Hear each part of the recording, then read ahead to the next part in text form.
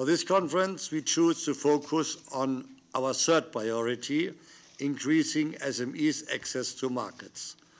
More specifically, this conference will focus on remaining obstacles for SMEs to benefit from e-commerce in the single market. The single market provides business opportunities in a market larger than the USA. Still, companies, and especially SMEs, do not tap its full potential. If you look, for example, at the sales of goods, less than 10% of EU companies sell cross-border within the EU, and in the majority of them limits itself to only three different member states. Um, I will mention it that we have a translation in, in, English, in French, and in German. And if you are not so familiar uh, with uh, the English language, you can uh, choose one of the translations. French is uh, cabin number three. German is number one normally, okay, and uh, English, um, it's, then it's two. Let's continue. The single market provides, I mentioned it, um, uh, it's, it's, it's, it's, larger than the US market, and that is very important. We improve that. When it comes to online sales, Europe still lags behind US and Asian markets uh, are quickly catching up. Therefore, the question is, what are the problems and what could be do about them? Of course, there are first of all practical obstacles such as language barriers or long delivery times, and mere cultural differences might play a role as well.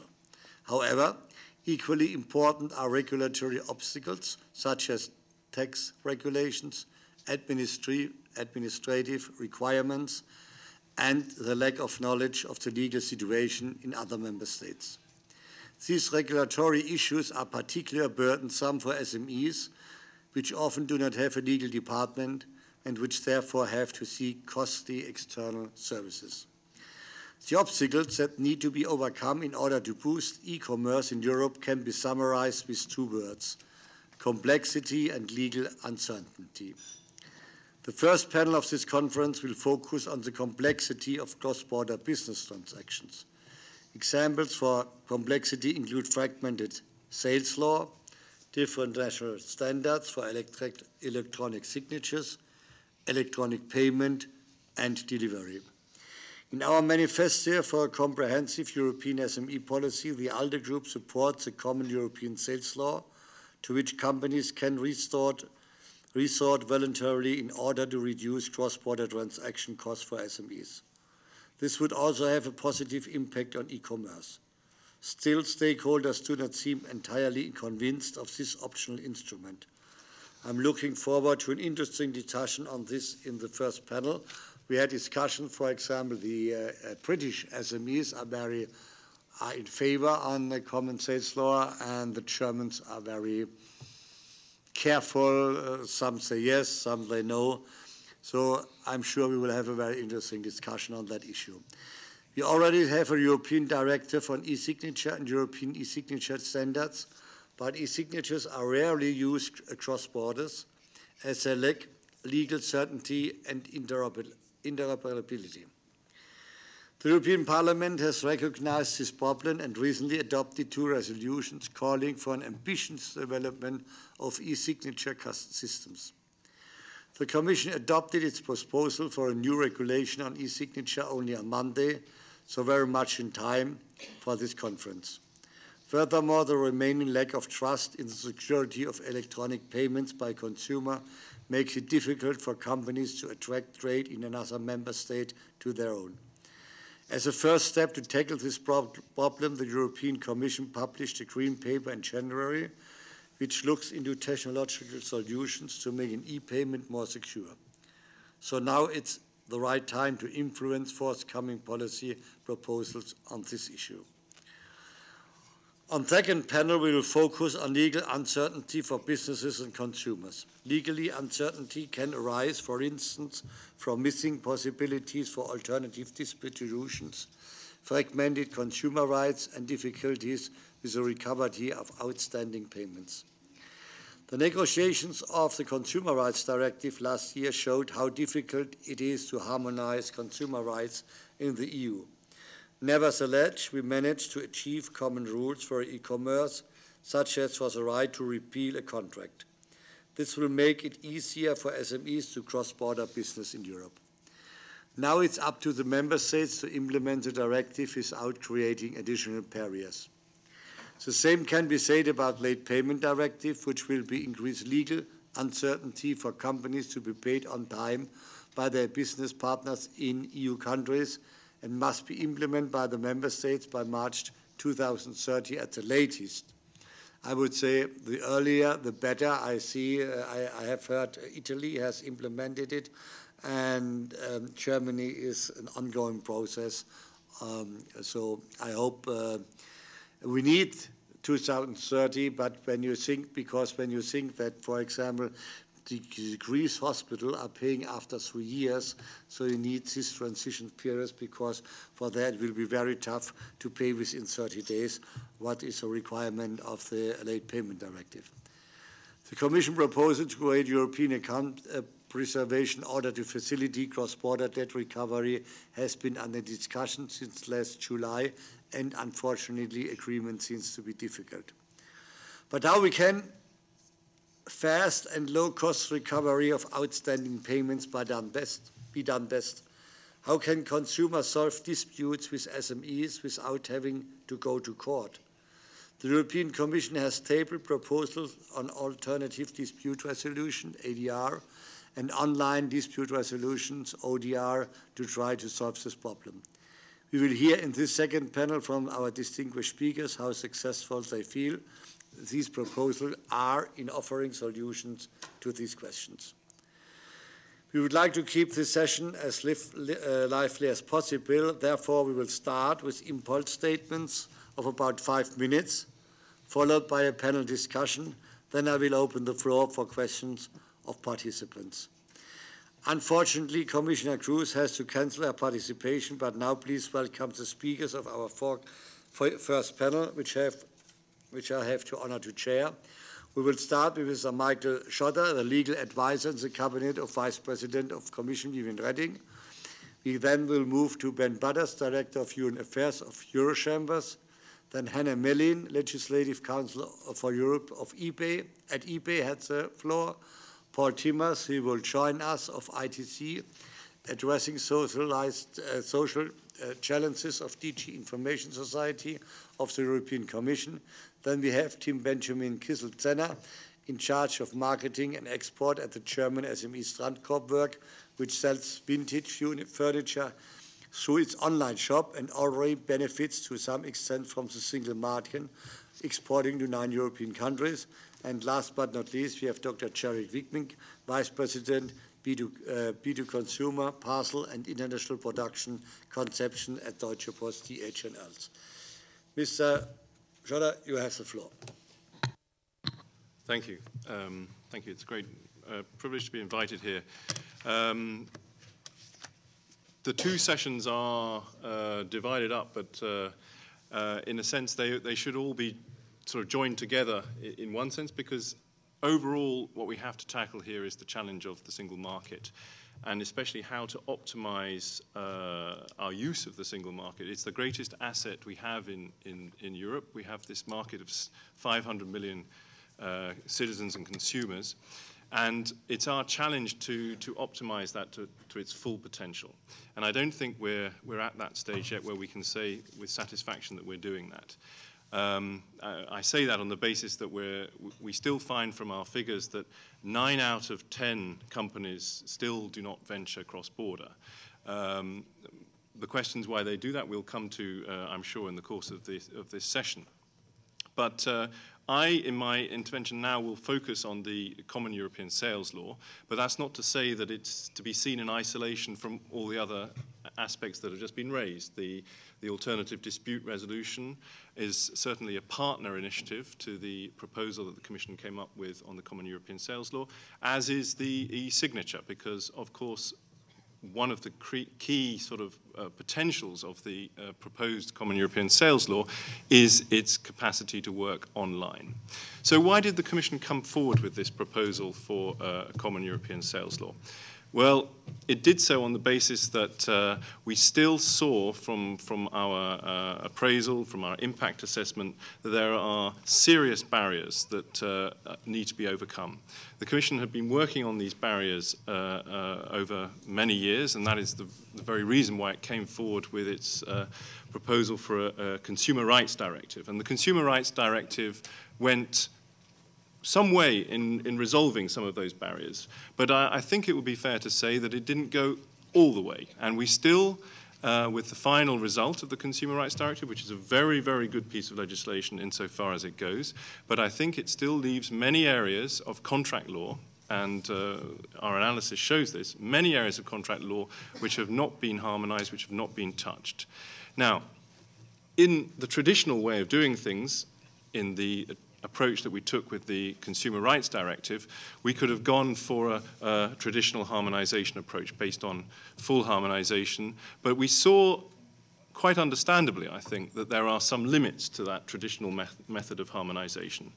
And so, with this uh, proposal for a uh, common European sales law, we've come forward with a new approach, an innovative approach, an approach based on an optional instrument, which, um, in the first place, businesses, and let's face it, we've directed this principally at small businesses because they're our, our target audience. They make up uh, uh, the vast bulk of companies in the European Union. Uh, we want them to, to have this as an option, not something that they have to meet all the requirements of, but if they see the benefits for them in venturing across border, uh, then they would opt for this, and it's there as a, something they can choose.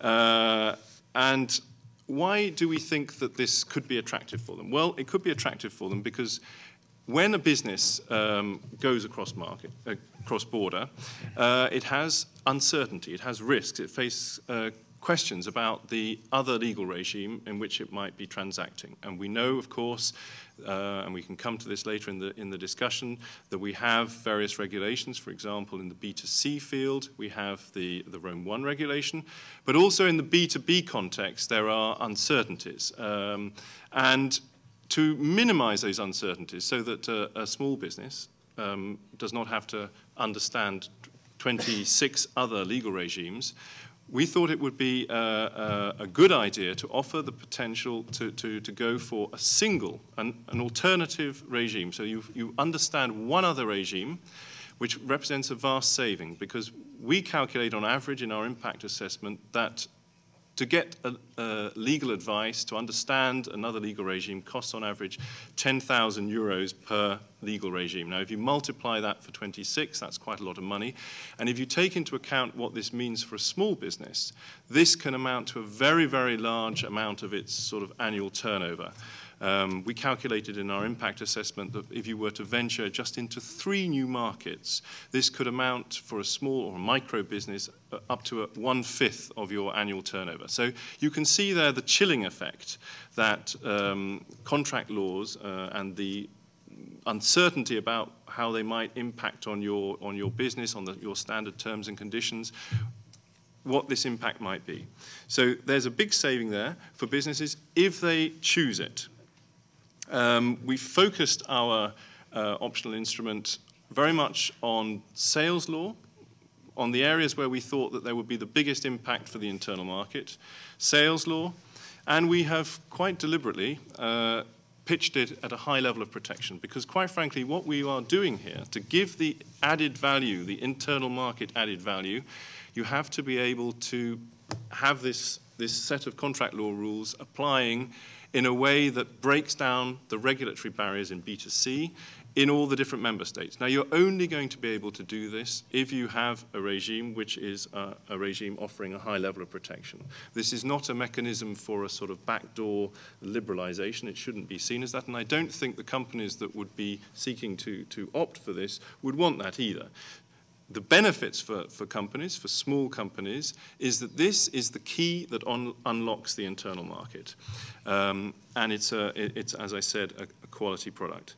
And I, I, think with this, our impact assessment shows that on conservative estimates, this measure can help uh, fill what is, for the moment, the, the, the lost trade the lost trade, we calculate on, on a conservative basis that that amounts to, to 26 billion of um, transactions in the internal market, which at the moment are, are lost because of the uncertainties of uh, contract uh, law.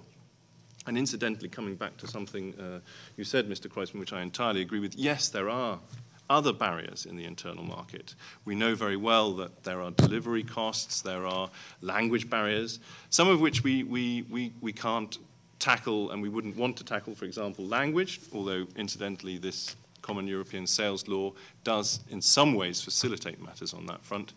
But contract law barriers and uncertainties relating to contract law are, in according to our understanding and our surveys, fundamental to what chills businesses' um, desire to, to, to move cross-border.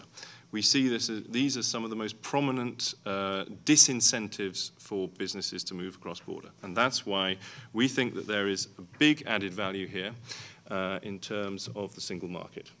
Thank you. Thank you very much. We move on to Mr. Ben Butters, Director for European Affairs at Eurochambres. You have the floor.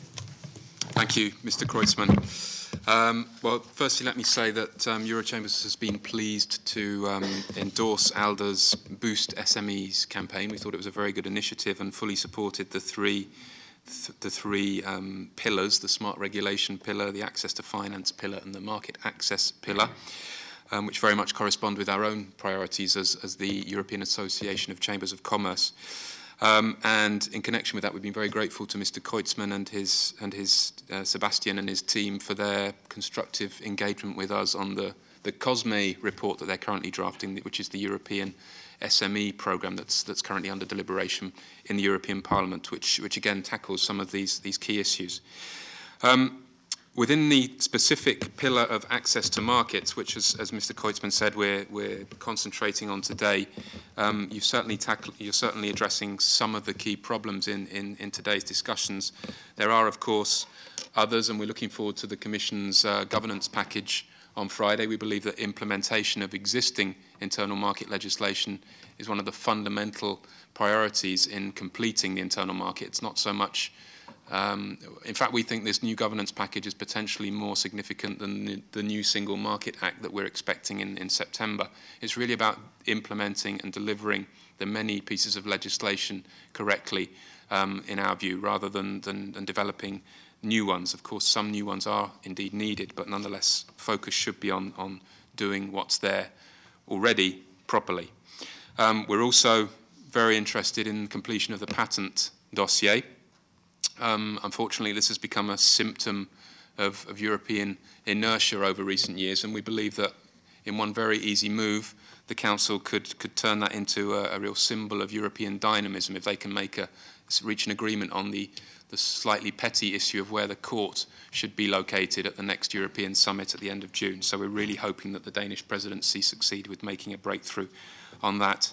Turning to the issues today, I'm, um, I'm also going to address the issue of the, the Common Sales Law proposal as well as the e-signature um, directive and the issue of trust services for electronic transactions. There are a couple of issues which you invited me to discuss which we're not following so closely, so I'll leave them to people on the panel who are far more qualified than me to talk about uh, payment systems and uh, deliveries. But on the issue of, of the common European sales law, um, there has been uh, an argument among some people that this is a solution to a problem that doesn't exist. Um, I don't think we would go that far. We certainly recognize that, that the uh, uncertainty about contractual regimes is an issue for SMEs. But equally, I don't think we would go as far as Mr. Shotter in saying that it's the key to unlocking the internal market. We think it's part of the problem, but there are many other obstacles to the SMEs, to SMEs being able to fully exploit the uh, benefits of the, of the single market.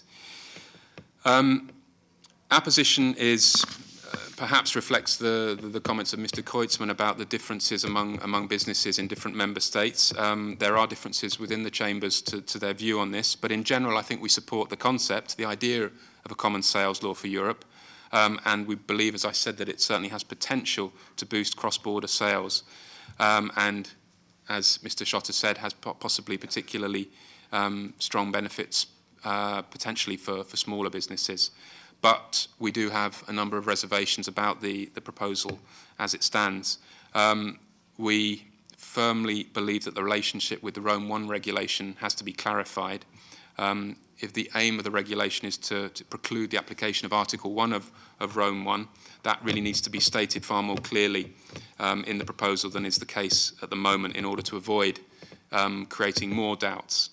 Um, we believe that the explanatory notes are, are, somewhat vague and open to interpretation, uses terms like good faith, fair dealing, reason, reasonableness, all of which are, as I said, very much open to interpretation, and we think that, um, they, that, that, that's potentially problematic. Um, and the text in general should be made clearer and simpler. Um, the objective of the Commission was to make this instrument user-friendly so that businesses could use it without having to hire lawyers. But the proposal is actually very complex and there are lots of cross-references between provisions and, as I said, vague legal terms, which, which um, are potentially um, a dream for, for lawyers and, and, and, a nightmare for, for SMEs. Um, we believe it's essential that the right balance between consumer protection and competitiveness of traders is struck. We don't think that's the case at the moment. Um, and we need to introduce a clear hierarchy of remedies, for example. Um, replacement and repair need to be given priority, and there needs to be a smaller number of, of information obligations in, in the proposal. And we also believe that it could be useful to develop model contracts. We've been discussing this with other business organisations, also with consumer organisations. We think that this is a, a useful option and also standard clauses. Um, and they should be perhaps based on the, the common European sales law, and that could be translated into all official languages. As Mr. Shotter said, language does remain an obstacle as well, um, because it's very expensive for SMEs to, to, to access legal support in drafting their contract terms, of course. So we think that these issues really need to be taken into account by the Commission, by the Parliament and by the Member States. Um, and really we need to remember that if this is going to fly, if this proposal is going to have uptake and, and, and traction, the businesses need to be convinced of its, of its value and its real added value to their day-to-day -day business. Then on the second issue of, of electronic uh, trust services for electronic transactions, we were, we were very encouraged by the Commission's proposal um, for a regulation on trust services earlier this week. Um, the implementation of the e-signature directive, which is, which is 12 or 13 years old now, has been very uneven, has led to some important, some significant disparities, and has thus slowed down the, the development of a single market for electronic transactions, which we think is, is really a critical obstacle to the development of the internal market in digital goods and services. Um, to take one example, which we often cite, France makes it very difficult for companies with a non-French electronic signature certificate to access their electronic public procurement. We've, we've actually raised this issue with the Commission and they're looking into it at the moment. Um, but we think this is somehow symptomatic of these problems in the disparity of, of implementation of the, of, the, of the existing directive. So we believe that a regulation is, is a good approach to take. Um, another positive directive of the proposal is the, is the ambition to gather under a same trust scheme services such as electronic signatures, seals, timestamps and delivery services, which should, in our view, ensure coherence. Our main hope, our main concern perhaps, is that we have a, direct, a regulation which combines the issue of electronic um, trust services for electronic transactions with the issue of EID. Um, EID, of course, is a very sensitive issue. Um, it's a small proportion of the regulation, but nonetheless, I think it has the potential, if we're not careful, to engulf the whole discussion because of the civil liberties um, concerns of some people re relating to electronic identification. So I think that's something that the um, policymakers need to be aware of.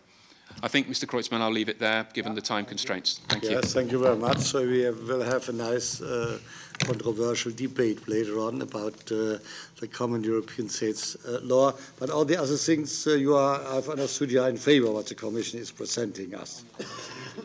Okay, so thank you very much.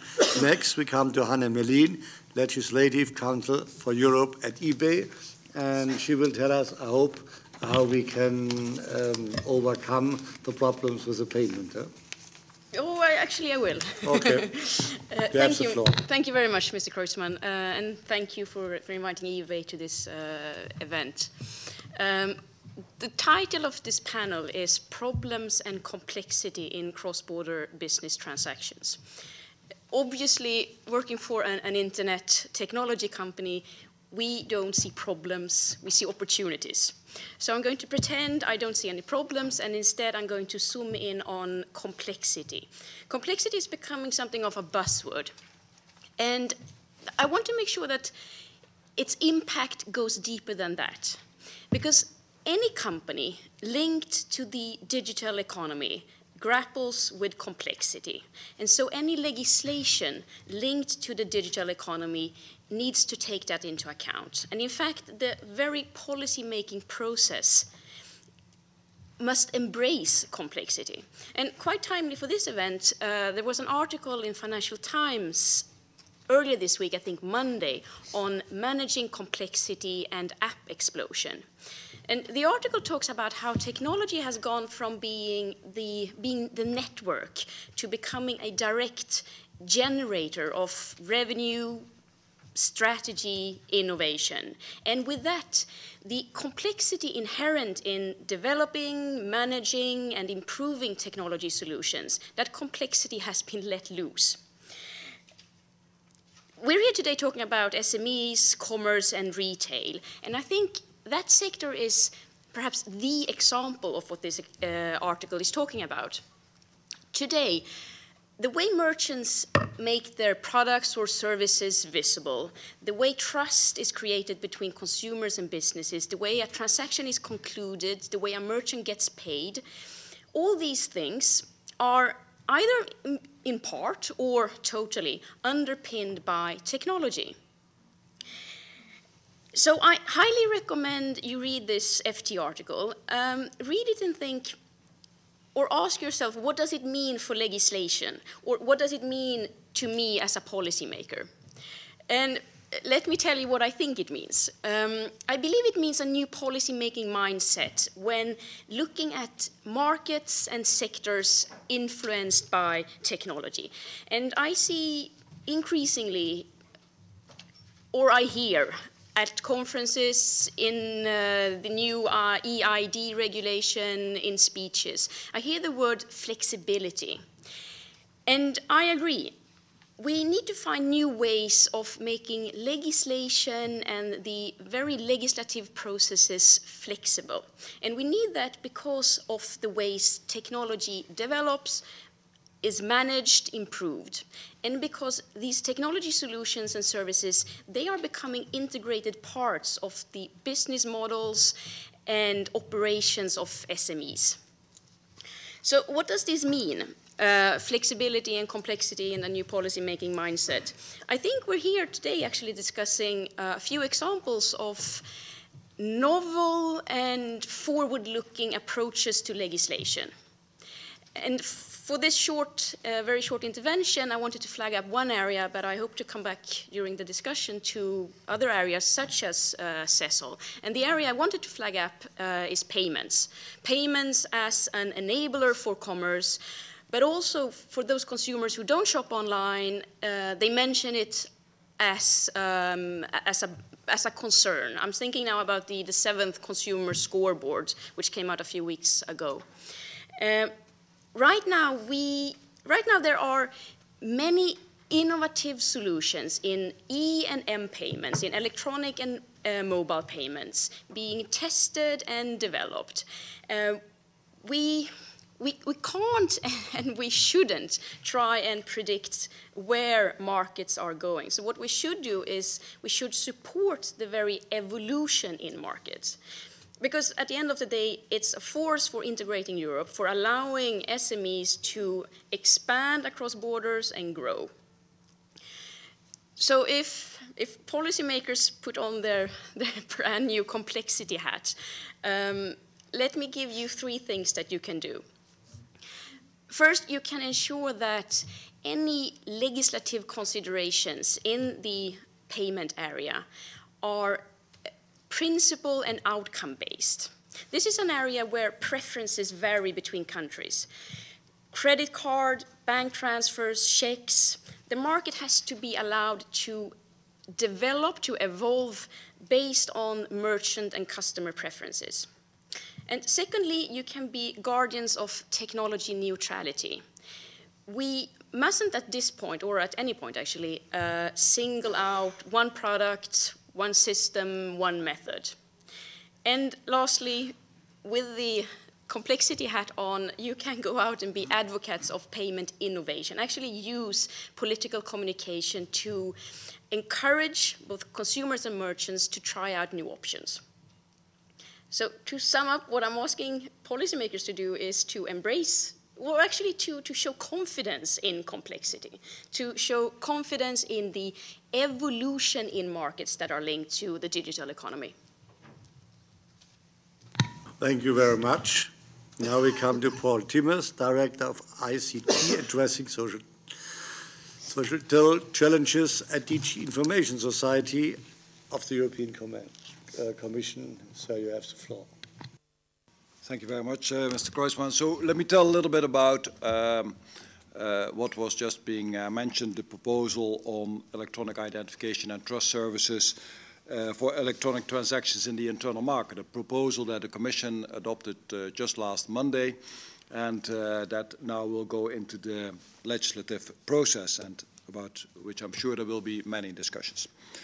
Um, it builds upon and uh, uh, replaces uh, one particular piece of legislation, which is the Electronic Signatures Directive, uh, which was um, a joint Parliament and Council directive, uh, and uh, which was in force since 1999 and is being replaced by this new regulation.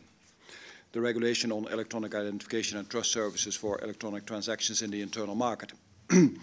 We think that this proposal is very important for the digital single market. It's another element in order to get the digital Europe, so to say, digital agenda for Europe in place. And it also fits with the roadmap for stability and growth. And this was one of the initiatives in the single market initiative, that uh, single market uh, action that uh, is one of the 12 fast-track proposals. Um, it is intended to be an enabling legislation that uh, helps to unlock the potential that uh, is there in the internet, in the internet across Europe. The idea is that uh, it will help to provide trust and uh, confidence in a trustworthy and secure environment and thereby to open the door for more cross-border secure services and for business opportunities. It will also boost the convenience and the trust online, and thereby uh, will help to create jobs and growth and uh, make the single market a reality also in the digital space. Now, what does the proposal provide for?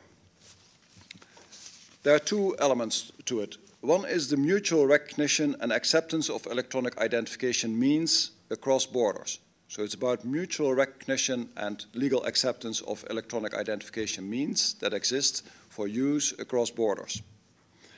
So the proposal, what it does, it uh, introduces a notification scheme for member states so that they can notify to the European Commission any electronic identification scheme that they have at the national level and that they wish to be recognized across borders. And when a member state would do that, uh, it provides access to public services to its citizens through electronic identification, and it has this notified electronic identification scheme, then it cannot deny access to citizens from another member state using an electronic identification scheme provided by Uh, another member state. So it's about providing access. It's not about guaranteeing that you can use the service. So if as a student you use your national electronic identification scheme to register for a university in another country, then of course you also need to qualify as a student, obviously, to be registered in that university. But at least you can get into the registration scheme with your electronic identification scheme, card, or whatever you have, or mobile phone that you are already using nationally, so from one country to the other. What it does not do, it does not oblige member states to introduce an electronic identification scheme, and it also does not oblige them to notify their electronic identification scheme that they have.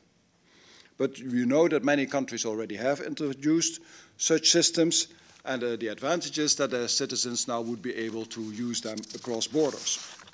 So truly, this is truly about using your opportunities across all of uh, Europe.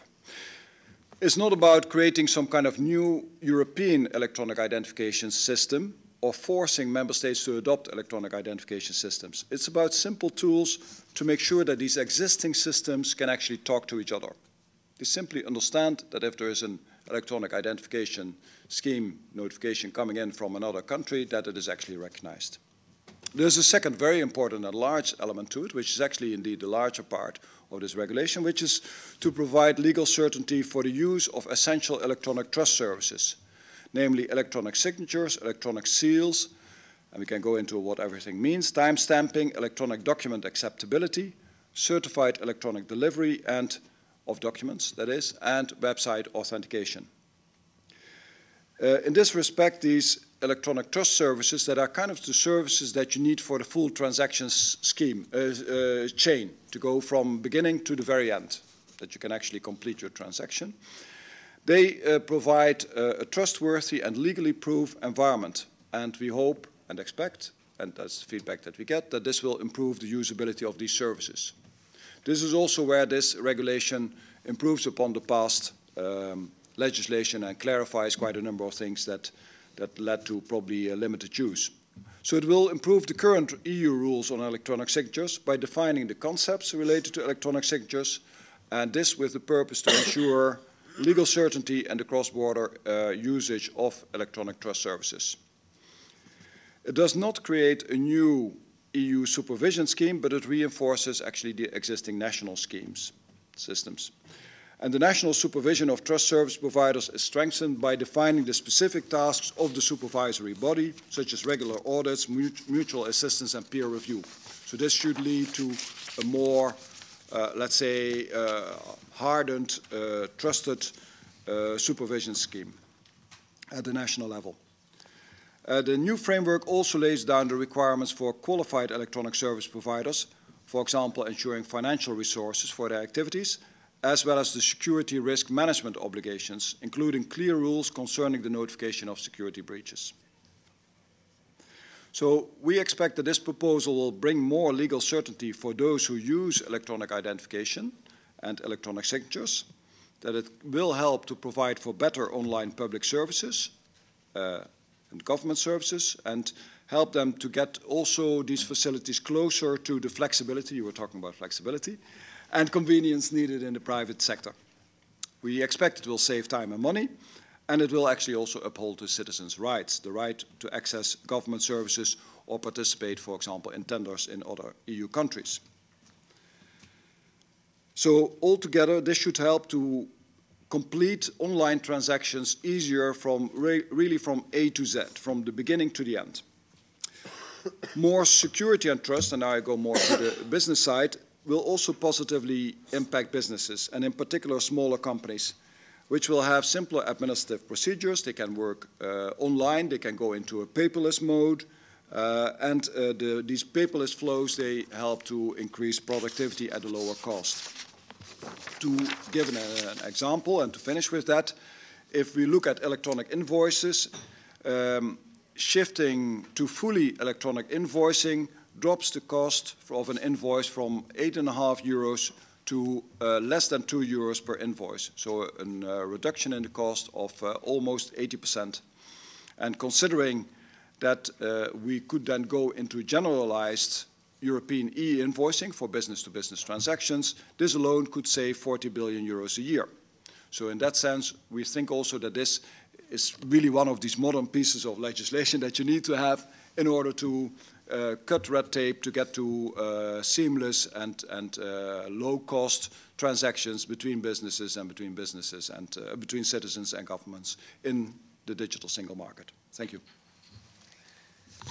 Thank you very much. Now we come to a young entrepreneur. He was in the afternoon with another meeting and he uh, told us what problems he has because he is selling to nine European countries uh, here in Europe and perhaps uh, you can tell us your problems you have to, to, to sell your products, and perhaps you can give us an idea if what we have heard today until now uh, can help you to solve your problems. Mr. Tim Benjamin Kisselzenner, you have the floor. Yes, good afternoon. Uh, my name is Tim Benjamin Kissel. Uh, if you want to hear my speech in English, you should. Uh, Alors, je vais parler en allemand. Der Firma Strankhochwerk um Vintage. I work for Vintage Line and we have our own factory in Indonesia and we began our activities 26 years ago. We had a, a market, a flea market, and things developed over the years, and then we had premises with uh, two staff and the owner. And then in 2002, we decided, due to a drop in demand, to sell our products online. So um, then we, instead of just looking at a town of 400,000 inhabitants, we were then uh, dealing with millions of people. So we were able to hire more people within 12 months, and we then had four full time members of staff, and everything grew until today, and now we have 26 members of staff. And then since 2006, uh, we uh, sell to nine different member states within the EU and we're very pleased with that. We've now got four warehouses and we have got 26 employees and we continue to look for new staff. And we're trying to continue to develop our business and expand it within the EU. We're trying to increase uh, purchasing power and find new customers for our products. The main problem here is the different uh, regulation and different legislation, especially given returns law and different legislation, and there's different things uh, across the EU. For instance, in Germany, you've got two weeks to send the goods back, and then if the customer isn't happy with that, well, then they're able to send that back to the manufacturer free of charge, to the vendor free of charge. However, in France, Austria, the Netherlands, there are different uh, laws and they make up a tenth of our products sold. However, it's unclear there who uh, bears the costs. For instance, we might pay 40 euros for a pallet within Germany. However, as soon as that's uh, across the border, for instance, in uh, Switzerland, that might cost 50 euros. That means that that's an obstacle to us exporting to Switzerland. And with online commerce, there's a certain percentage of uh, returns that do come back from customers. That means that if it's 250 euros there, then 250 euros back, and there's all the effort and cost involved, and perhaps you've lost a customer, so there's a huge risk involved with all the different payments and everything. And so that's uh, difficult for cross border transactions. Furthermore, there are different uh, laws, for instance, guarantees and so on, and they're often very unclear and they're very different. Although we all in the EU live together and do business together, it's not possible to set out exactly who bears the cost for that, who's responsible, and what happens if there is a claim, who is responsible. None of that is clear. Furthermore, that's the main reason why we only sell a tenth of our products abroad although uh, we've seen our sales increase by nine or ten times, well, it's to do with all this and the traders. For instance, you only have an anonymous order, and then there are obstacles for payments and so on. And if, uh, traders don't want to sell goods or send goods abroad where they don't have any experience, for instance with the legal situation there, with the different regulations and solvency checks and so on. There are often shops as well, but they're mostly only national shops. Uh, so it's something that's quite neutral and not significant for international customers. So consumer goods, we're, we're talking about not niche goods. Those are something that's quite difficult to sell abroad. It's almost impossible. There's such a high returns rate, the financial risk is so high, the uncertainty about the current legal situation as well. Those are our main problems at the moment if we try to export abroad. So we're trying to expand to Denmark and Switzerland, France, for instance, and we had different uh, issues there. It was Spain and Italy. That's a little bit more difficult. Unfortunately, we haven't had the opportunity to exploit that just yet. Thank you. Ja, vielen Dank. Das ist uh, that's a, practical uh, what we heard, but to understand more, um, and we know that uh, when we discuss it in the European Parliament, and we try to um, avoid um, these things that we uh, can improve our single market, but it's very difficult. You know, the um, uh, Consumer Sales Directive will be in place in 2013. With the, uh, we will see if that is an advantage. The Common Sales Law we are discussing in the moment and um, payment possibilities. Uh, we know that they exist, but uh, uh, that creates cost for the um, for for you. So with the so uh, excuse me that we came to the late floor uh, to Dr. Gary Wiegmink, Vice President. Uh, business to consumer parcel international production concepts at Deutsche Post DHL. Perhaps you can tell us why the costs are so high. Yeah, thank you very much um, for this uh, opportunity to speak here. Um, just a brief uh, answer. I, I, think you said uh, to um, deliver uh, um, Euro pallet to Switzerland is more expensive. There is, of course, the customs barrier and all the problems that come with that. That's easy, actually, a lot of work if you have to do customs stuff. Yeah, I have prepared a few uh, uh, slides to make it a bit more visual. Uh, what I uh, think for a five-minute introductory statement would be suitable is to uh, tell you a bit what we think, uh, what our customers would like to have what's important for them and what kind of products we have. If I say customers, then these are basically e-commerce customers who send parcels, yeah, something of the size that you can put on the table, you're not quite like the Strandkorb you manufacture. And what do they um, what do they uh, want? They want competitive selling prices. Uh, that's more or less obvious. They need convenient return solutions, uh, which enables the uh, the consumers to send total or partially uh, their, their parcels back if anything's wrong, or you know that from your private life. Then they are interested in uh, track and trace solution that gives them visibility where the goods are on their way, on the road, in the air, and so on. And they need uh, appropriate transit times. Not actually express transit times, but something that matches the distance and the expectation of their customers.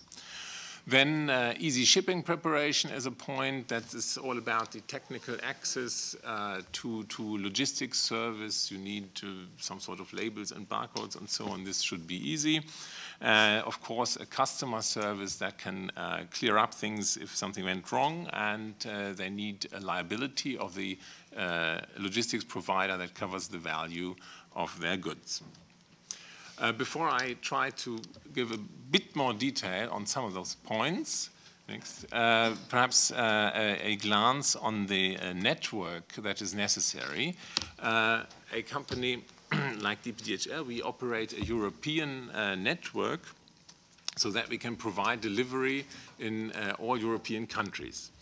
Uh, and uh, what is the, the special thing with that is that we uh, have uh, different cooperation partners in every uh, country. And uh, we select them according to their commercial and quality offers. It has turned out that in many countries this is still the sort of classical postal operator with whom we cooperate. But in some countries, these are other other uh, delivery uh, providers are better, and in some countries we also use DHL Express. Of course, the management of such a network creates a certain complexity and, and work, and uh, you have to be up to date all the time. But that is, of course, a complexity that we will not let our customers feel, but this is what we manage for them in order to be able to offer interesting things. Um, one point that deserves perhaps uh, a bit more attention is the international return solution.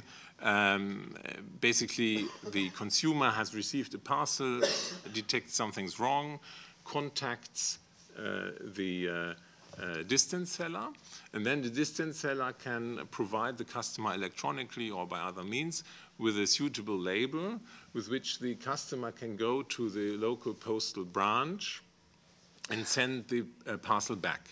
The interesting point is that the consumer, him or herself, does not have to pay for that service.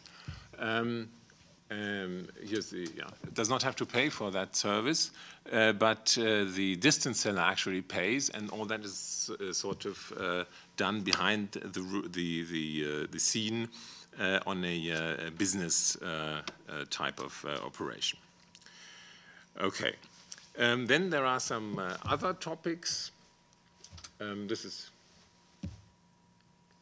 other topics. As I said, uh, we have to, to monitor the performance of the uh, operations partners and the transport and so on. You may know that there are track and trace events taken from every parcel during its way to the uh, recipient. And these are millions and millions of events, and uh, we invest quite a lot in business intelligence systems that construct meaningful observations from these track events so that we can uh, monitor the uh, performance and uh, quality. And then, uh, in particular, towards uh, SMEs, a small company, the question is, do they have access to, to all these services? And here we um, um, we give uh, already discounts basically from the smallest uh, levels on. Yeah, there's uh, um, set pricing available. So if you buy 100 parcel transports basically at once, there's already some uh, reduction. If you use online franking, there are reductions that can already uh, sum up to substantial uh, rebates with relatively small numbers of parcels. Um, And uh, if you have more than 100 parcels internationally per year, then uh, there will be done an individual price calculation that takes the structure of your goods and uh, the volume of the parcels and all these cost drivers uh, individually uh, into account. And last but not least, the liability uh, for these parcel services is 500 euros, the, the upper border usually that covers most of what is in the size and realm of the uh, um, and influenced by the um, needs of the consumers uh, in addition to the needs of the uh, e-retailers and uh, the uh, competition that is already there. There are postal operators, express companies, integrators, local things, direct injection possibilities. This competition will still be around and put pressure on us to still improve uh, the products and, and lower the costs, and that leaves us with uh, a lot of work to do. So much uh, for the time being. Uh, we'll see. Yeah, thank you very much. I would propose that uh, we give, uh, give Michael Shotter the chance to give a short answer or reply to Ben Wadda's um, attack against uh, common European sales law. Then I would open the floor if there are other questions or comments on that, and then I would open the floor to um, to the audience. I see also somebody who is not so happy with the common European sales law. I know that. And uh, Mr. Shotter, you have the floor.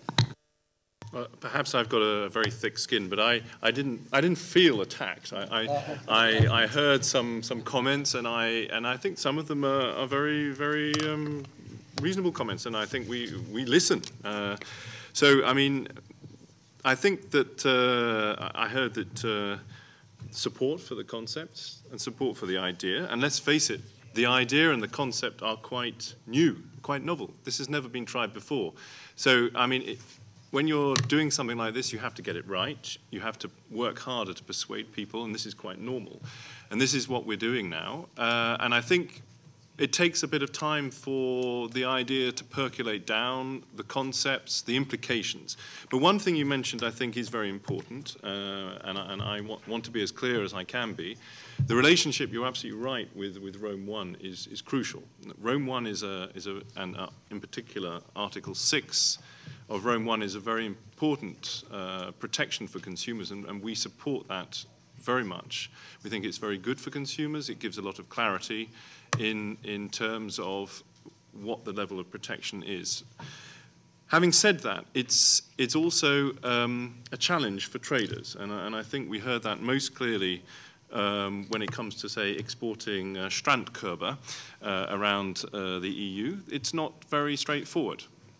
Now, one way of dealing with this was the Consumer Rights Directive, and I'd like to think that some of the problems that we heard will have been improved. For example, on, on, returning products, I think you should get some more clarity there. And that's very useful clarity, and we work very hard on that. Having said that, some of the other issues you raised, and you mentioned the guarantee issue, we haven't provided a, a solution in the Consumer Rights Directive. Uh, it was a very difficult issue. Um, and it's not that it's not a barrier. It is a barrier. And I think anyone who's, who'd like to say that this is not a barrier, I don't think is living in the, in the real world for businesses.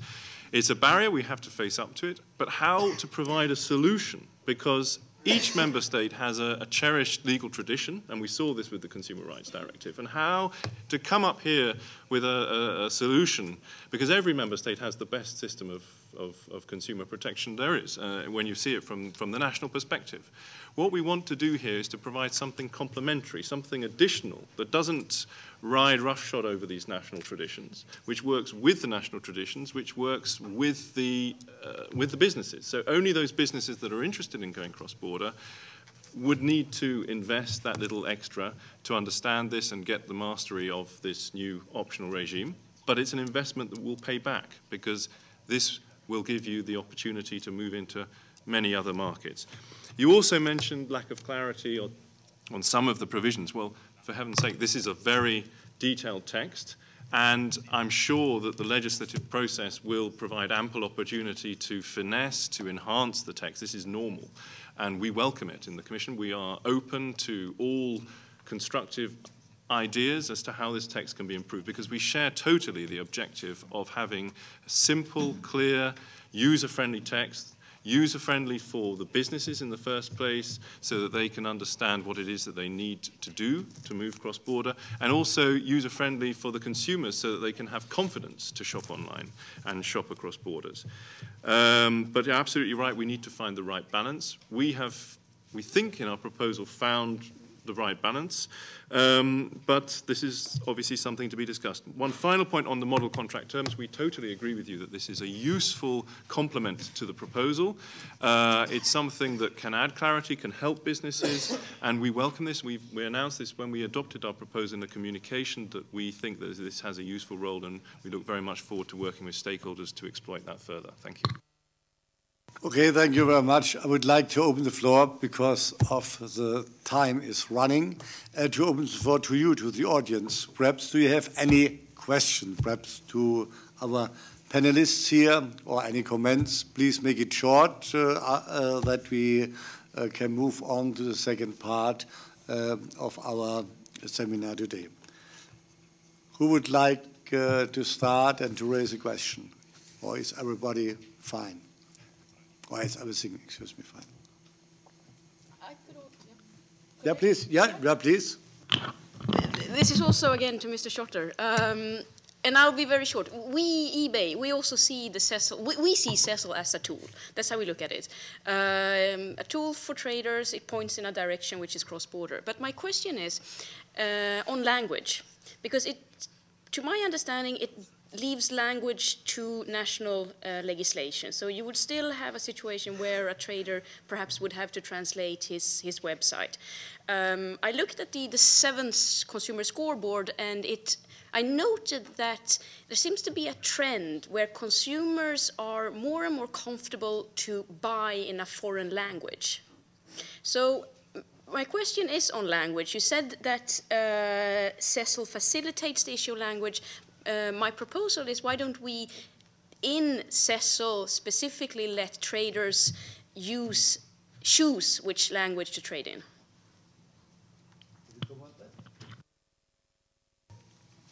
Well, I think we have to we have to take into account the, the consumer protection. Um, consumers need to be able to understand what they're buying. You're absolutely right. Some consumers may be, may be comfortable buying in, in, in, a, in a, foreign language. I, I, don't, I don't doubt that. But I think we also have to take into account that some consumers may not be. So that's one issue that we've taken on board. The other issue, I think, and this is something that is a great step forward and something that doesn't exist at present, we have here a set of contract law rules um, which is translated into all different languages. That is amazing uh, tool. And of course, we can go further. We can develop model contract terms. We can uh, add further clarity through perhaps notes. And I'm sure there'll be all kinds of complementary uh, initiatives which will further clarify where there are, inevitably, I would say. We're not going to be able to iron out all ambiguity in, in, in, a contract law regime. You wouldn't want to do that. I mean, it would have to run to, to uh, uh, thousands and thousands of pages. So you need to leave some space for rather uh, open terms like reasonable. Obviously, there's a discussion to be had on where they're used and whether you can clarify it further. But some flexibility needs to be left there. But we can introduce greater clarity, and I, and I think that by having this text available in all these languages, and I think we will have, it will encourage a greater confidence to traders in the first instance to, to feel that they have that confidence to move across borders. Thank you.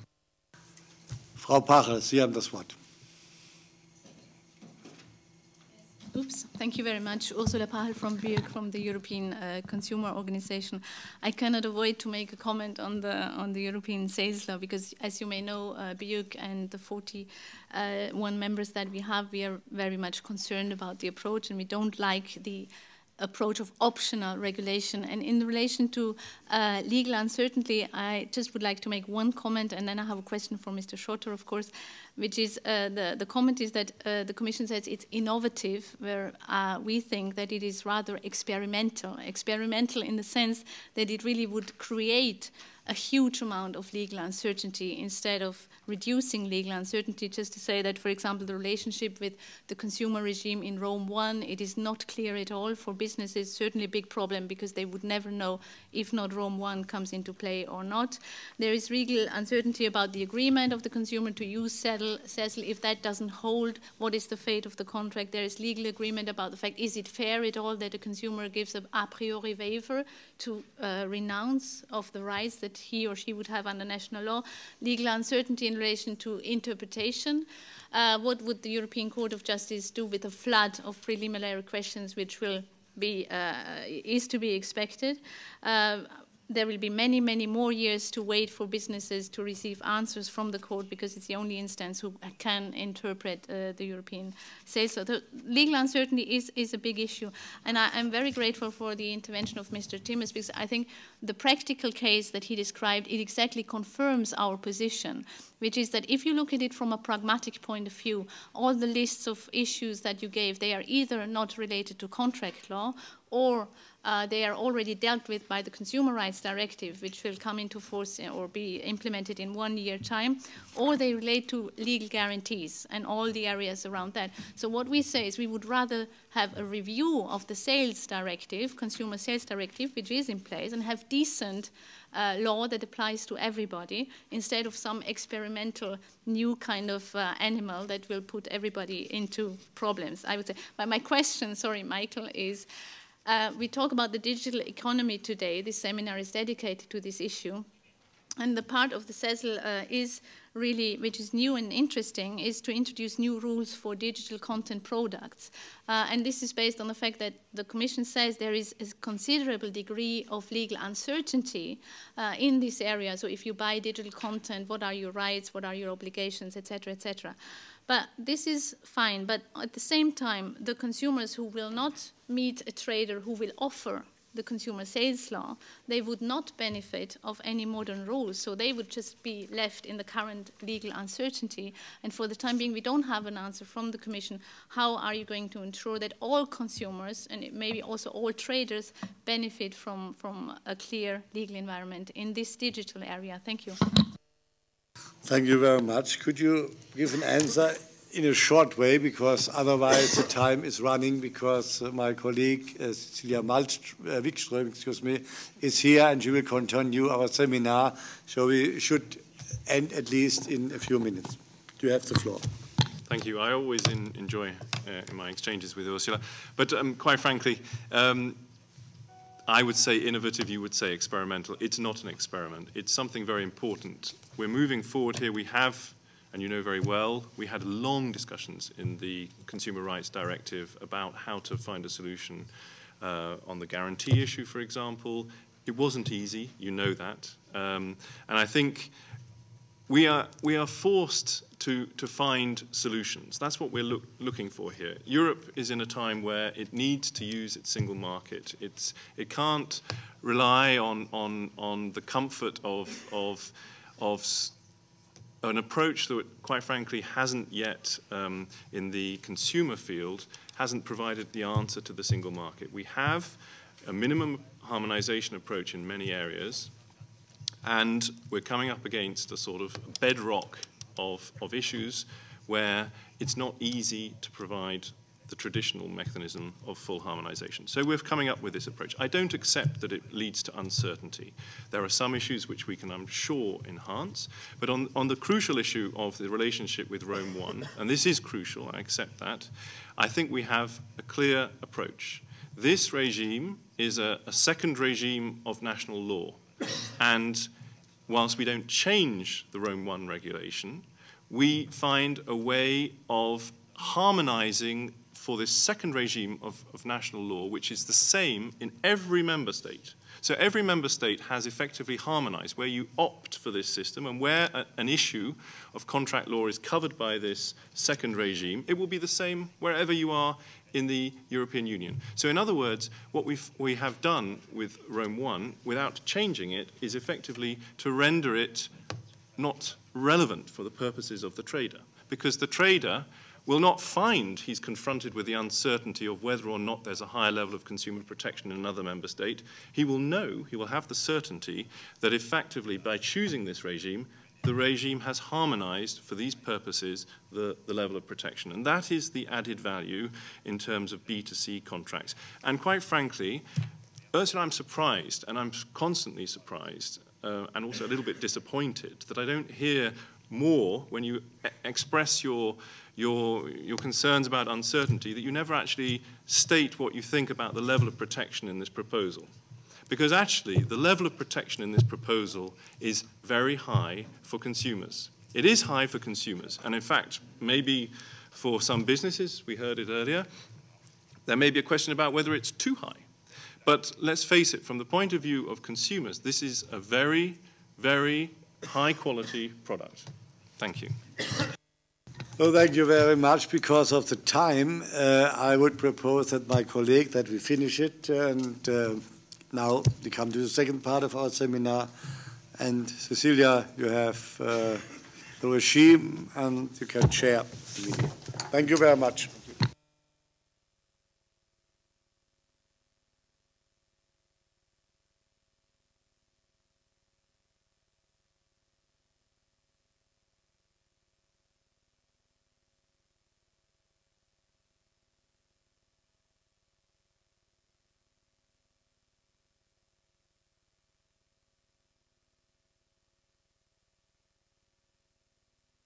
very welcome to this second panel on this seminar this afternoon in the European Parliament.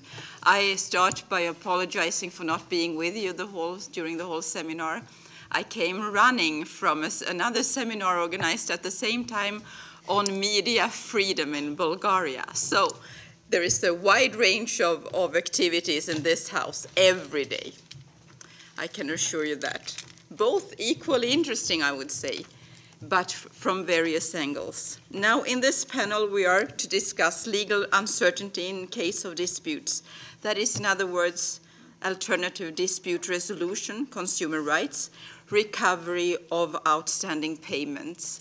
I'm Cecilia Wikström. I'm a member of this House, Swedish, and since January this year, I'm the coordinator in the Legal Affairs Committee on behalf of the ALDE group, that's the liberal group in this House.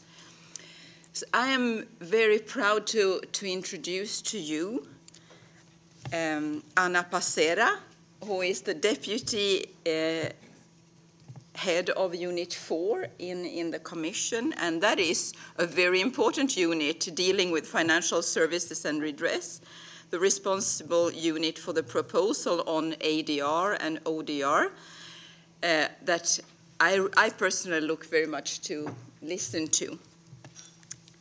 So I think I'll give the floor right over to you in order not to waste any more time, because it's much more interesting for you to listen to our experts that, rather than to listen to me, and maybe we can summarize this afterwards. So, Mrs. Passera, the floor is yours.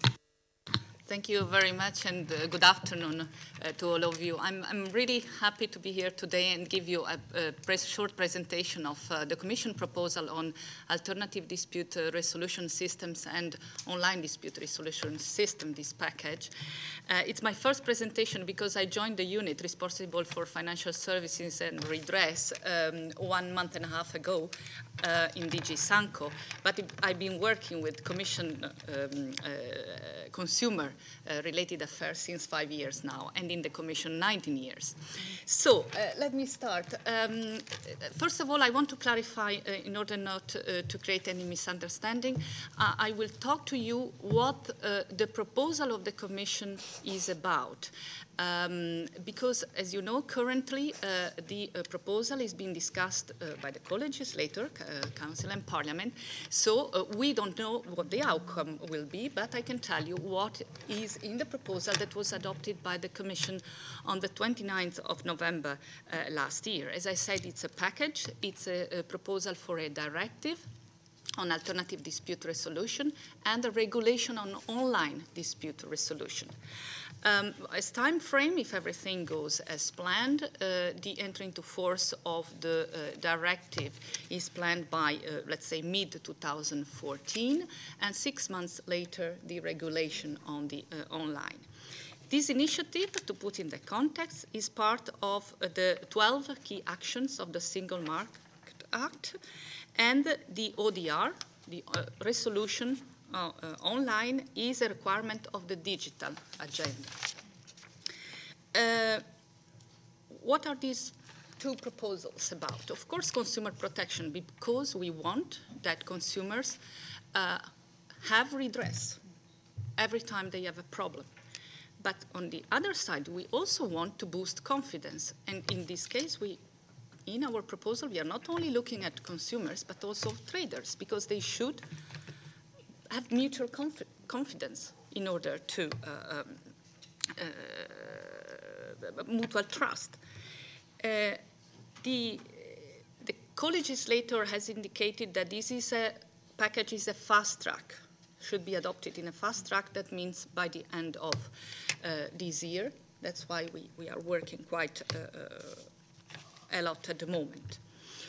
what are the main elements of the proposal? For the ADR, there are three main elements. Uh, I just summarize. The coverage, the quality, and the information that the consumers should receive. Concerning the coverage, we would like to have uh, uh, the, the, ADR systems uh, in all the member states covering all the sectors. Of course, it will be up to the member states to choose the different modalities, but we want to have a geographical coverage and sectoral coverage. Quality, and this comes also from uh, the recommendations that we have uh, adopted uh, years ago. We want to have transparency uh, of the system, effectiveness, and the impartiality in order to work. And of course, in order the system to be able to work, we want that the consumers should be aware that there is a system there for them that works. That's why, for us, it's very important that consumers get this information uh, in their contractual um, documentation uh, or in the websites when they shop online. The main elements of the uh, online dispute resolution system are the creation of a platform. As I said, six months after the entry into force of the directive, the regulation kicks in, uh, and the Commission is currently developing a platform, online system, uh, that will connect consumers, traders, and ADR um, uh, entities in order to be able to uh, solve these disputes online. Both of these uh, proposals uh, cover business to consumer disputes, meaning also the consumers, uh, sorry, the businesses that have an issue with the consumer. And in this case, we have identified mainly uh, payment problems issues when the, the consumer um, doesn't pay. So in that case, the business can uh, um, address the, the, uh, the system. And because we have seen that uh, the, the this, uh, lack of effective uh, redress has adverse consequences both for businesses and consumers, again, for what I said before, the trust and the, uh, in particular in, these online, uh, in the online uh, environment. And we have also seen that SMEs, in particular, have seen that if there are uh, if there is a lack of uh, effective means of redress, they are more reluctant uh, to go and and sell online. To give you some um, figures that come from different sources, I, I haven't quoted all of the sources there, but if you on request, I can give it to you. Um, we found that about 60% of the businesses uh, say that an important obstacle for them to sell cross-border is potentially the higher cost of resolving the disputes afterwards. And the SMEs in particular to have all the administrative system put in place. And as a result, the internet traffic purchases um, cross-border are, are, quite low, at still uh, 9%. So we, we said that businesses, and in particular SMEs, could uh, benefit uh, of uh, having an, a, cheap and quick system of resolving disputes. Um, surveys, and here I quoted the European Business Test Panel survey, has demonstrated that 20% of businesses wanted to use ADR, but they couldn't because ADR did not exist.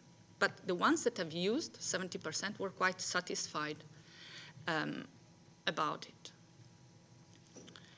So we think that this adoption of this, this package, on ADR and ODR will then contribute to reaching the 33% uh, target for SMEs to conduct online purchases by 2015. However, and this I have to say, this was our proposal, but it's now in the hands of the legislator, and it depends uh, the outcome, uh, what it will be, whether will business to consumer will still be covered. I conclude here. Thank you very much. I thank you very much, Mrs. Passera. Very interesting. And this is a brand new field for everybody to get into depth with. Yeah. And I find it personally extremely interesting to find a non-court way to, to find solutions for a common problem, which is really necessary. Now we let's move on to the next item, to the to the next um, next introduction, and I, I, will introduce to you Ursula Pachl, the Deputy Director General at BEUC. Mrs. Pachl has been with BEUC. Um, which is the European Consumers Organization since October 1997, recently as its Deputy Director General, and leading the work in BEUC on consumer legislation, a key, for instance. So, by those words, I wish you again welcome, and the floor is yours. Thank you very much, Madam Chair. Um, I will um, speak a bit more broader uh, about the scenario of e-commerce and B2C uh, purchases or, or, selling and also what kind of solutions maybe could be there uh, to help SMEs and consumers alike to increase um, engagement. Could I have the first slide, please? Uh, so first of all, just to give you a bit the perspective from the consumer side, as reported by the Consumer Market Scoreboard, so the Commission's uh, scoreboard, which was just presented, to the new version uh, last week, 43 of Europe, 43% sorry, of European uh, Union consumers have purchased goods or services last year over the internet. Um, and this is a slight increase, but it is quite a big increase if you compare it with the figures of 2004. So e-commerce is steadily increasing. The figure uh, of cross-border trade, as we all know and hear very often, is not so much increasing. It's at 10%, but still it is also slowly but surely increasing. Interesting development is that online purchasing of online digital products, films, music, books, software is really booming. So 57% uh, have purchased these kind of products online. Uh, if it comes to the barrier of cross-border trade, uh, the reasons we know them since many, many years. There is now a bit a new kind of component here with new elements, uh, which I think come um, out because they have been asked for. One very important reason for consumers not to shop online is that they think they have enough choice in their own countries, and some of them, 40%, uh, prefer that they, uh, to buy in physical shops. If we look at now the real kind of um, obstacles in terms not only attitude, but why they are worried about uh, if they would sell uh, um, or, or, purchase uh, cross-border, then redress is the top, top issue. It has always been, since, since we know about this service, has always been the main reasons for consumers. What do I do if something goes wrong? Where do I turn to and where do I get uh, um, help and, and how, how can I deal with this situation? Then we have, of course, payment and data protection issues, safety of goods, delivery charges, that are other important factors. This also shows, I think, that uh, consumers have certain preferences which we maybe also should respect. We should not force everybody to go cross-border. I think this kind of attitude would also not work. Um, can I have the next slide, please? Um, just to set a bit the, the scenario in terms of what happened recently in terms of the legal uh, environment at the European Union level, uh, and, and this is certainly something which will considerably um, improve legal certainty, namely the Consumer Rights Directive. And just to recall, this directive was adopted in last uh, November, will be implemented by the member states in autumn 2013, and it fully harmonizes, so really fully harmonizes the main aspects of distance selling, so the main aspects of online contracts with consumers, and these are all the pre-contractual information requirements, the for formal requirements for the conclusion of a contract, for distance contract, and also of premises contract, but e-commerce more important in this discussion. The right of withdrawal, where we just hear there is really a problem because there is so many differences in the member states. All of this, the duration, the exercise of it has been fully harmonized. Now, delivery and the passing of risk, all of this is dealt with. What remains on a minimum uh, harmonization level are the old directives dealing in particular with legal guarantees and with unfair contract terms. And as I've said just a few minutes ago, our preferred uh, policy approach would be to have a separate review of the legal guarantee directive. This is the 99 Consumer Sales Directive, and not go for any kind of optional instrument. Next slide, please. So what is the strategy for the development of the internal market? I've only selected a few points, uh, uh, a few points that in our opinion could improve uh, awareness uh, uh, about the legal environment and by that also improve uh, confidence of businesses and consumers in cross-border e-commerce transactions.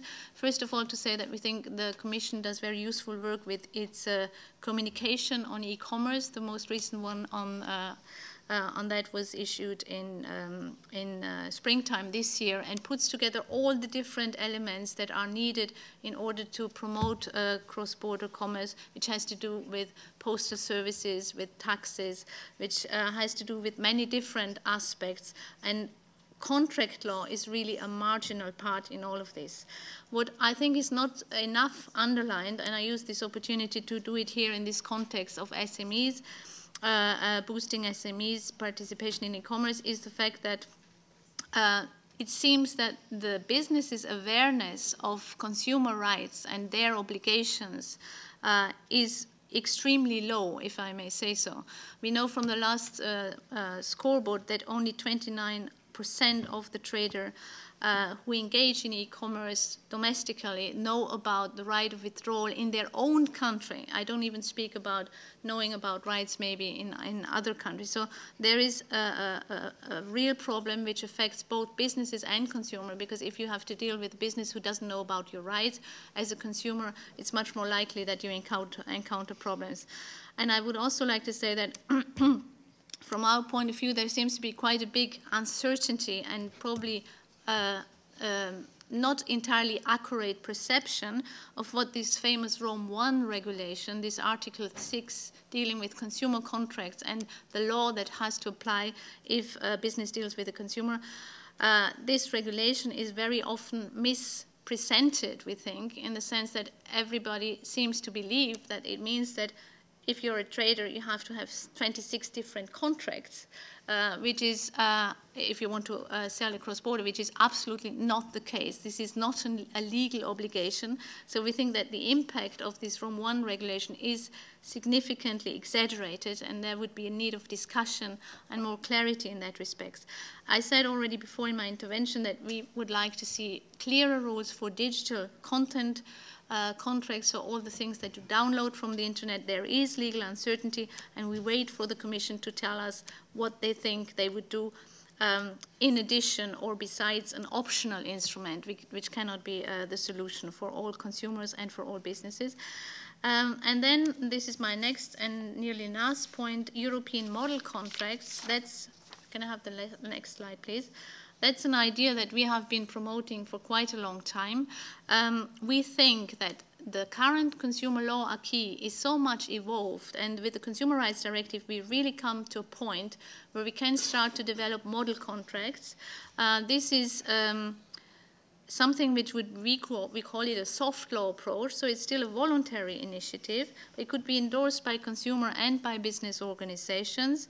It would not replace national law, but it would basically uh, inform uh, consumers in the contract terms about the law, uh, and that would be fully harmonized on, I would say, 75% of the relevant aspects if it comes to online selling because of the Consumer Rights Directive. Uh, and there would be, uh, for those areas that are not fully harmonized, you could just make the contract terms meet a high level of consumer protection so that there is no potential risk that you would run into problems with a higher protection level in, uh, in one of the member states. This is exactly, I, I would say, also something that the Commission had in mind when they did the sales law, just that we think this is a much more limited, much more targeted, much quicker, and much cheaper and less intrusive possibility. So we really think the legislator should have a look into that. And last point, uh, alternative dispute resolution. Just to say, we have been waiting for this initiative for decades. We fully support the Commission. We think the text needs improvement, but also we have, I think, seen that the legislators really make efforts uh, and we are confident that we will have finally a system in place which is to the huge benefit of consumers, confidence building, but also, and I think the figures are really clear that uh, Mrs. Passera showed, that also for businesses, this is a significant progress. Uh, there are three concerns which remain for us, which is um, that those schemes which are exclusively run by businesses, in our opinion, should not be included in the proposal or in the legislative initiative. Um, the legality principle is not satisfactorily yet embedded in the proposal, but we can come to that later and suspension and limitation periods, um, suspension of limitation periods should be considered. I'm sorry, I stop here because I run out of voice. Thank you very much, Ms, Mrs. Pachl. Now I'm, we are running very short of time, so I, I will go directly to you, Mr. Luc Hendrickx, uh, Director of Enterprise Policy and External Relations at the European Employers Organization. Representing the interests of crops and SMEs at EU level. The floor is yours. Thank you, Madam Chair. Um, ladies and gentlemen, I've been asked to um, present our, our, views here more specifically on the problem of recovery of um, outstanding problem uh, payments. Um, this is again, I think, an example of a file where this proves that SMEs are often in a weaker position than even the consumers because European legislation and also national legislation concerning consumer protection start from the premise that the consumer is always the weakest uh, part in, in the relationship between an enterprise and the consumer. And we have always stressed that is not always the case and that often, for not saying in many cases, especially smaller uh, companies are the weakest part in this relationship but also, for example, in the relationship with uh, bigger enterprises. And the recovery of outstanding payments is indeed a very huge problem for small and medium-sized enterprises. Uh, luckily, we had uh, the adoption uh, two years ago of the directive concerning late payment, where we are still very grateful that uh, Mr. Creutzmann has supported us in improving this proposal of the Commission.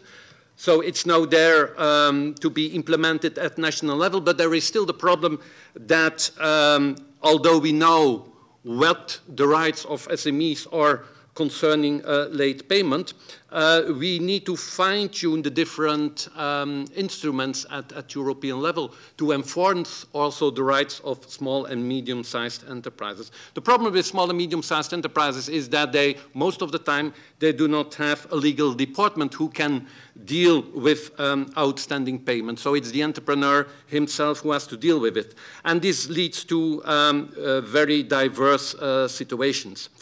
Um, small and medium-sized enterprises depend also, especially in the B2B relations, uh, on commercial relationships, so they have to be very careful in what they are doing. So it depends also a little bit on the situation of the person who does not want to pay. And there we have to make a distinction. Some people do not have the money at all, so normally it's a lost case. Others are using um, small and medium-sized enterprises to have, um, and this can be both a consumer or a big enterprise, to have cheap credit. They try to, uh, or, or, they want to pay uh, the SME so that they don't, uh, so that they get some, some easy credit. And of course, in that case, you can try to negotiate. And what are then uh, the instruments that are at the disposal of small and medium-sized enterprises. For example, in e-commerce, and there it's clear normally, especially e-commerce done by small and medium-sized enterprises cross-border, it is about uh, very small amounts. And there, most of the time, okay, they drop it. So they do not know, do not do anything. Uh, they simply drop the case. Um, when it's about bigger claims, and especially uh, cross-border, and especially in B2B relations, there normally a small and medium-sized enterprise goes immediately to a lawyer, because otherwise he cannot deal with it uh, on, on, on his own. And there, of course, they are, um, we, we, we, are confronted with the fact that uh, you have to negotiate with, with, uh, with the consumer or with, with the company. And there, we think that the uh, proposal from the Commission concerning ADR and ODR can be um, very uh, beneficial, especially for small and medium-sized enterprises. However, we think that um, uh, we have to, to stress that there are two essential points in it. First of all, ADR is and should be, as, as foreseen in the current proposal, it should be a two-way street. So the initiative should, uh, it can come from the uh, consumer, but also, or from the customer, or also from the trader himself. So this is key for us, and also that claims for payment are not excluded from uh, the scope of, of uh, the ADR. And then on A ODR, especially, the online dispute resolution, uh, it's for us um, of utmost importance that it's also open to um, B2B disputes. Um, nevertheless, uh, and, and, we have already at, at European level um, some good instruments uh, which has been adopted in the last years. For example, the European Enforcement Order for Uncontested uh, Claims. Uh, nevertheless, this needs to be, uh, if you want to use it as an enterprise, you need a certification. There is a cost and a time, so also there uh, we should think about how to improve this. And uh, the second one is the regulation concerning the small claims procedure. Um, small claim procedure, so claims uh, less than 2,000 euro. This is also a very, very useful instrument. However, there is one problem. And um, I think the European Consumer Center has uh, recently published a, a, study on it about the use of the small uh, claims procedure. And there it became clear that in Belgium, for example, it was only used in 11 cases, and in the Netherlands only in seven cases. So there is a huge, huge problem. It's a very useful um, procedure for small and medium-sized enterprises, but it is not known. It is not known by the SMEs, but even worse, it is not known by the judges. So there we are especially looking to the European Commission to um, do some awareness-raising campaigns both to the SMEs and both to the, um, to the professionals, uh, meaning the judges um, and, and the lawyers, uh, to improve um, this situation. Thank you. Thank you very much. I hope that you are prepared to, to um, not to leave the room at 7 o'clock, but uh, 10 past 7, if I could conclude by then. Now I'm happy to give the floor to Felix Braun, the director of the e-commerce in Verbindungsstelle Deutschland, which is the e-commerce contact point in Germany. And it is, I look very much forward to listening to you since I know that you are the, have the biggest expertise in fields of consumer law, European Union law, ADR and e-commerce. So try to do it quickly and funny. Okay, I'll try. Thank you, Madam Chair. Well, after all uh, we heard, uh, I think we all agree that there's a lot of uncertainty in case of cross-border disputes. Um, but I'd like just to illustrate how ADR already functions in practice. But before I do that, let's just get back to some problems we. I was very happy to hear what Mr. Hendrickx just said. Uh, and it contradicts a bit what I think it was uh, Mr. Butters who said it's a lawyer's paradise, this uncertainty. And I myself am a lawyer, and I can tell you it's rather hell because if we think about B2C cases in e-commerce, we are dealing very often with cases with very low sums in disputes. So it's very uninteresting for a lawyer to specialize in this field.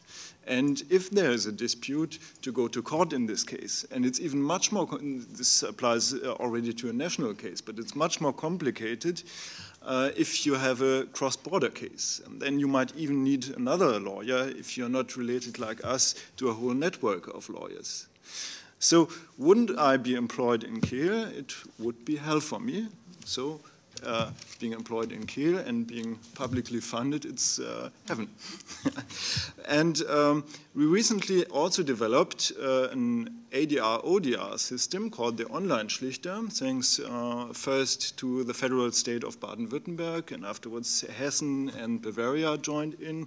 And now in April also for first time uh, we have a private partner and this also proves this can function. Uh, it's trusted shops, uh, leading German trust seal for online shops. And many of the clients of um, trusted shops are SMEs. So this is also a good linking point because as we heard, um, trust is a key.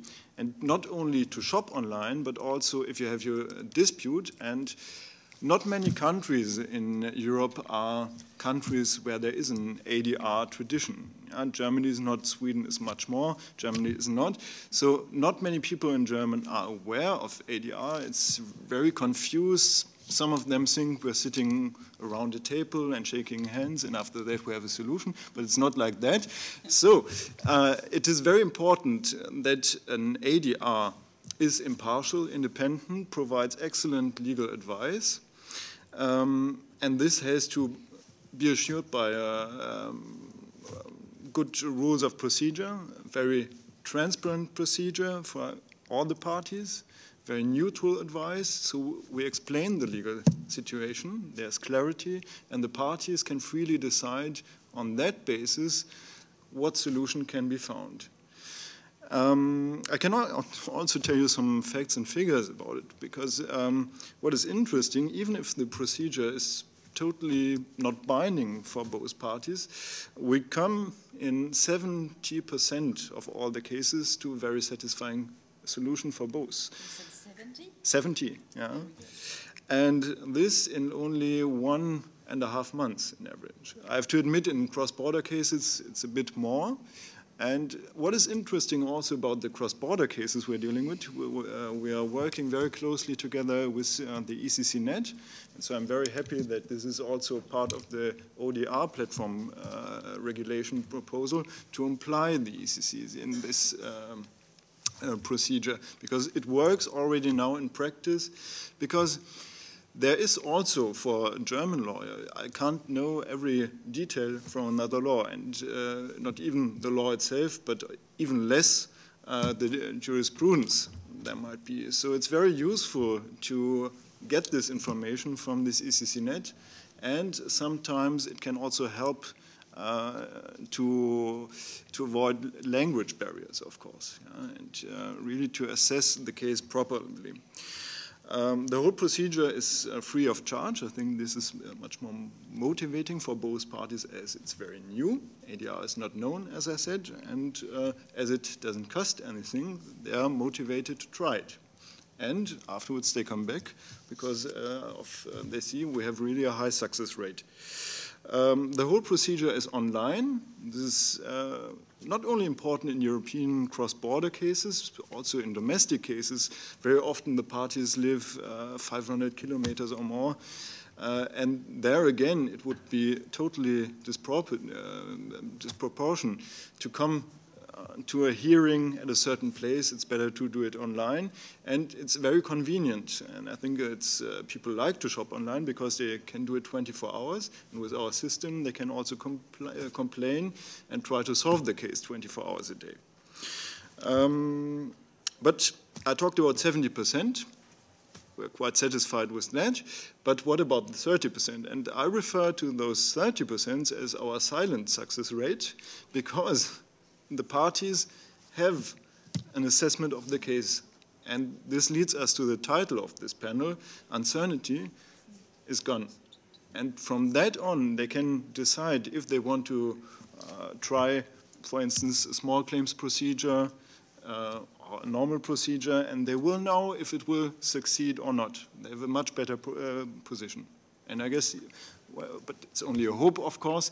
If ADR and ODR is more known in Europe, uh, the success rate will even increase. Thank you. I thank you very much. Well, to Im improve the functioning of the retail internal market is indeed something that we all must work on, especially us as, as legislators. And redress, as we have heard from the whole panel, must be enhanced for consumers.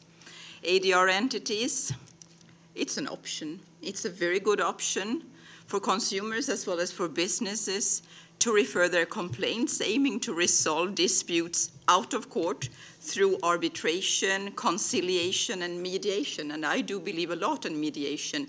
If you would know my profession, you would know why. But we have to, we have to ensure that visibility of these instruments are has to be increased. People have to know that there is an alternative to go to court, and that is ADR and ODR. And it's up to us to really present it as, a, as an optional instrument, and it must be available to everybody. So the success rate was very good to hear, very good for us indeed. I can assure you that the Legal Affairs Committee is currently working on this as well as on the common sales law with the aim to come up with a situation where consumers as well as businesses can benefit from a well-functioning single market. It's necessary in the European Union in the 21st century. It is today that we must get our house in order in order to meet increased consumers and businesses' needs and demands. It is today, when we are in the middle of a financial and economic crisis, that we must be brave and courageous enough to have a vision of the European Union beyond the crisis. And that is why these instruments are so important to, to put in place and have them up and running as soon as possible. I would like to thank all of you for, for giving us your thoughts on this, experts as you all are in various fields. And uh, I am sorry, but I can only allow, let's say, one or two questions, if necessary at all, because we are already running over time. So if, if there is anyone in the room that absolutely have one urgent question, don't hesitate to stand up and speak up. No one? Okay, very good. Let's then wish each other a very nice evening and don't hesitate to come back to us, come back to the Legal Affairs Committee and to the ALDE Group. Thank you for today and for your participation.